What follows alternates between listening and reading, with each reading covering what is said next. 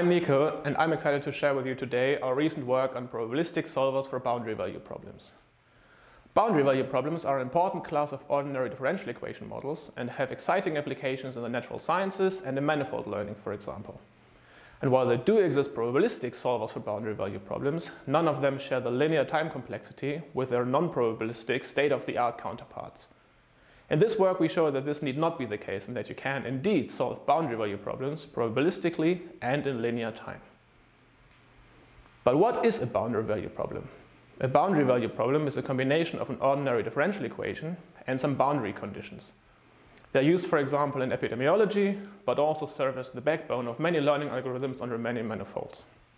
What makes them hard to solve is that the differential equation models local interactions, whereas the boundary condition enforces global behavior. And this weird mix of local and global phenomena is hard to exploit with a numerical algorithm.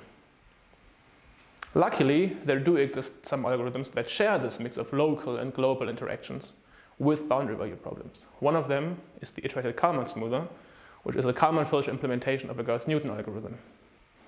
And building on the iterated Kalman smoother, while also adding some practical considerations like Gaussian bridge priors, hyperparameter calibration, and mesh refinement, we end up with an algorithm that converges quickly, all while delivering calibrated uncertainty estimates.